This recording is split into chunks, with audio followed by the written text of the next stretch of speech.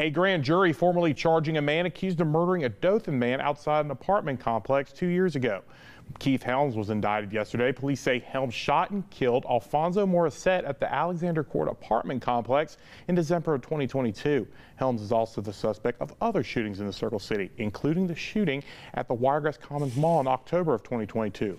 No one was injured during the mall shooting, but witnesses say that around 10 shots were fired inside the building. Helms currently has a trial date set for November.